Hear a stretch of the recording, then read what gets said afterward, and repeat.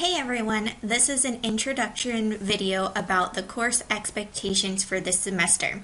So the first thing we're going to go over in this video is the course syllabus. So I have the PDF version pulled up and I wanted to go through and outline a couple of different important things. Um, so this basic information right through here goes over course information.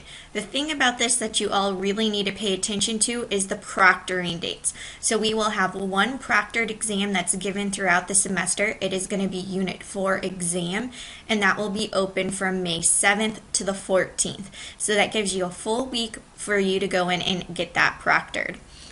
All right, so this other information, um, my office is at the Richwood Valley campus over in Ozark, but if you live in Springfield or somewhere else, please email me um, and we'll set up a place to meet in different times. Um, I'm always available, just give me a little bit of notice and I'll make sure to be able to meet you. Along those along those lines, sorry, is the response time. So I'm expected to respond within 24 hours, except on weekends, holidays, and during official college closures. Um, and I do my best to meet this. If you ever have any questions, please email me. I've also included my phone number, so if you need to get a hold of me, please make sure that you either email me or actually call me. All right, so we are going to jump down to textbooks and the required materials for this course. So we're going to be using Essentials of Geology. It's the 12th edition, um, and this is loose leaf. But if you have the loose leaf or if you actually have the the textbook, either one is fine. Um, but one of the most important things is going to be this COAST learning system right here. So it's Intro to Physical Geology Lab Manual for Distance Learning, 4th edition. Um, this is going to be your lab kit. So I'm talking about an actual physical box of rocks. So it has minerals, it has three sets of rocks, there's going to be some sediment, there's maps, and there's other things that we're going to be using for the rest of the semester. Now some other required materials are going to be corn syrup and some colored pencils that we'll be using. Most of the stuff that we'll be using for this class are going to be things that you would have lying around your house. Now we're going to move down to our course objectives. So there's 10 course objectives for this class. Number one is to explain the origin of Earth and state some of the major events in history. So we're going to be doing this and discussing this throughout the class. Next is to use the tools and techniques of a geologist to analyze Earth's processes and materials. Again, these are going to be things that we'll be doing in lab um, and sometimes even in our field trip activities to get a better idea of how geologists analyze the different processes of Earth. Now, number three is identify rocks and minerals and explain how they form. So this is going to be the first half of the semester. Um, so this is going to be in lesson three through about seven. So we are going to be focusing on that, but I promise not the entire semester is going to focus on rocks. Number four is going to state the theory of plate tectonics and use it to explain geologic phenomena such as seafloor spreading, continental drift, earthquakes, and mountain building. So again, plate tectonics is going to be an idea that we carry throughout the entire semester. Five, identify a variety of sur surface features such as streams, valleys, lakes, moraines that demonstrate the external processes that shape the earth. So this is stuff that we're going to be doing in lab, but we're also going to have the opportunity to look at this um, in some of our field trips.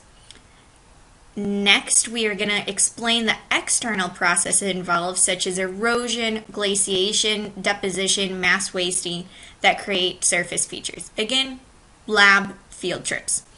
Um, number seven, identify a variety of surface features such as mountains, volcanoes, calderas that demonstrate the internal processes that shape the Earth's surface. Again, same thing as number five and six. Same can be said for number eight. Explain the internal processes involved that create a variety of subsurface features such as cave, sinkholes, magma bodies, and ore deposits. All right, so moving on to number nine, we're going to assess the hazards of geology related phenomenon and the impacts these events have on society. So this is again a thread that we will go throughout the entire semester. So we'll be continually talking about how geology is related to humans and how humans are related to geology. Lastly, we're going to identify the economic importance of a variety of earth materials and describe the impacts of the extraction and use of these earth materials have on society.